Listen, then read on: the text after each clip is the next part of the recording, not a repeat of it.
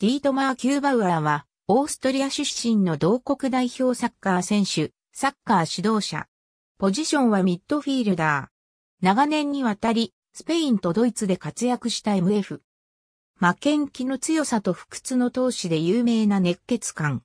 SV マッテルスブルクの育成部門出身。16歳でオーストリアブンデスリーガでのデビューを果たし、FC アドミラバッカーメイドリングと SK ラピードウィーンで活躍。リーグ優勝1回、オーストリアカップ優勝1回、UEFA カップビーナーズカップ準優勝1回などを果たした。1997年にスペインプリメーラディビシオンのレアル・ソシエダで移籍。ベルント・クラウス監督のもと、チームの中心選手として、ソシエダのワイドサッカーを支えた。中盤では、厳しいチェック、そして当たり負けしないフィジカルからボールを奪回、得意のロングフィードでスピードあふれるサッカーを展開。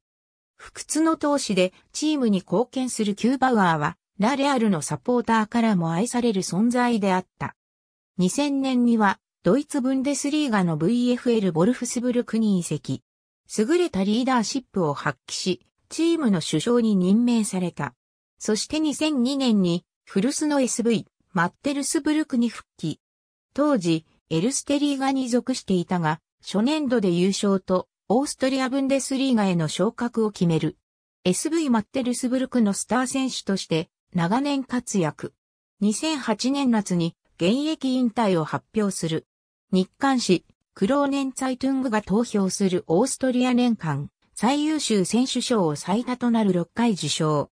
たぎるような情熱とカッとなりやすい熱い性格を持ち、試合中にも幾度となく審判や相手選手、場合によってはアウェー戦でも相手チームのサポーターにまで食いついた。